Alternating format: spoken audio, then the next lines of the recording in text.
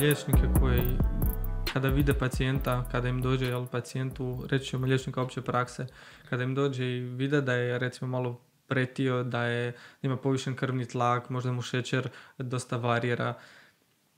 Oni mu najčešće kažu morate se početi više kretati, morate se baviti, ali to je ono nešto generalno. Ali, jel mislite i vi da je, mislim ja bar tako smatram, da nedostaje te, tog individualnog pristupa u, u samom tom liječenju, u tom prvom koraku liječenja, znači to je liječnik opće prakse, nedostaje možda više njegovog usmjeravanja na kineziologe i ljude kao što ste vi, da se obrate njima iz razloga zato što možda ne mogu sami sebi dopustiti da ipak neko više zna o takvim stvarima od njih sami.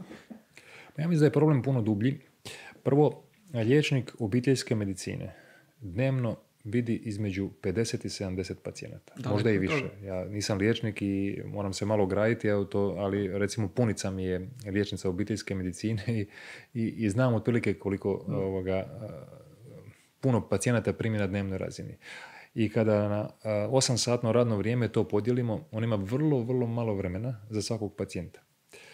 Dok recimo imamo sasvim drugačije primjere u Švedskoj nekih od naših e, obiteljskih liječnika koji su se preselili tamo, koji dnevno vide 10 pacijenata. A to znači da imaju puno više vremena za svakog pacijenta. Znači, ako tih sada 8 e, sati, možemo to 480 minuta, podijelimo sa 10, to znači da imam 45 minuta za svakog pacijenta. Pa to je nekako, je, koliko se ja sjećam u svom obrazovanju, e, liječnički pregled uopće praksi bi trebao trajati između 30 i 45 minuta, a danas traje 5 do 10 minuta. To je nemoguće, znači mi imamo tu jedan uh, ozbiljan problem. E sada, uh, kako riješiti taj problem? Problem rješavanja uh, ovaj, ajde da kažemo, lista čekanja i guži u zdravstvu i je, je puno šire pitanje i tu ja naravno mogu dati neke svoje mišljenja, ali nisam sigurno dovoljno kompetentan da to sagledam u cijelosti. E, ja to više gledam sa stajališta, dakle kako mi da smanjimo broj ljudi koji će doći, e, koji će biti pacijenti. E, tu mislim da bi mogao ovoga pomoći ukoliko, ukoliko bi postojala volja da se tako nešto napravi. A da bi se to napravilo potrebno jedno razdoblje od 10 godina.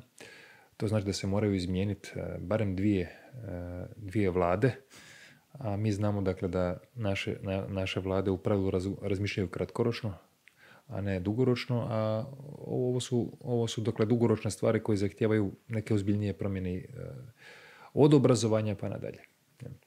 Tako da u tom smislu e, liječnici obiteljske medicine nisu specijalizirani za propisivanje tijelovježbe.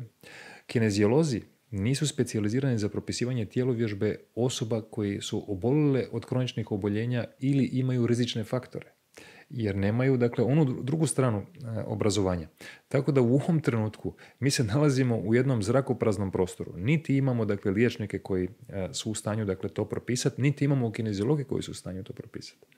A to znači da nam fali jedna profesija koja bi se time bavila. I ta profesija e, bi mogla biti recimo to bi moglo biti e, specijalista medicine rada i sporta, recimo ako bi ih se doučilo. Ili bi to mogao biti nekakav novi profil koji bi se školovalo u kombinaciji medicine i kinezijologije. Recimo da se to zove zdravstvena kinezijologija ili preventivna medicina, kako god ju sad nazvali, znate, e, svi bi htjeli, e, svi, svi bi htjeli svojatati te stvari. Jel? Medicina bi htjela to ovoga, staviti pod svoju kapu, kineziolozi bi htjeli staviti pod svoju kapu, objektivno kineziolozi su ipak manje utjecajni u društvu nego medicina, ali to je manje važno. E, potrebni su jedni i drugi da bi, da bi se takav jedan program oformio, oblikovao i da se onda kreiraju dakle, ti ekspertni centri za primarnu i sekundarnu prevenciju. I onda bi taj eh, liječnik obiteljske medicine kazao, vidi, ja nemam sad vremena za tebe da ti dam detaljne upute, ali postoji tamo centar gdje ti živiš, ti živiš u Zapruđu. Dobro, u Zapruđu imamo tri centra koji su akreditirani od strane liječničke komore za obavljanje te vrste djelatnosti. Javit ćeš se tamo, jel? tamo postoji kombinacija liječnika i kinezijologa i oni će ti pomoći da promijeniš svoje životne navike kako bi uh, rizične faktore spustio i ne obolio. Ili ako si već obolio, kako da se nosiš sa tom bolesti prema kraju života, a da što manje konzumiraš lijekove, medikamente i. Znači, rješenja postoje, ali moramo tražiti rješenja. Međutim, mi to ne tražimo.